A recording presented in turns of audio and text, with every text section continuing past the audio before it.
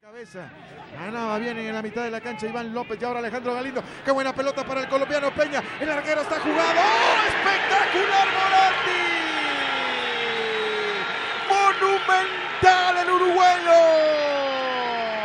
Soberbia atajada. Espectacular, Santiago Morandi estaba jugado, por eso le pica la pelota a Roberto Carlos Peña. Y así de esta manera, una mano Morandi la envía hacia el tiro de esquina negando la antigua. Aquí vamos a ver en otra panorámica la jugada del partido, Héctor.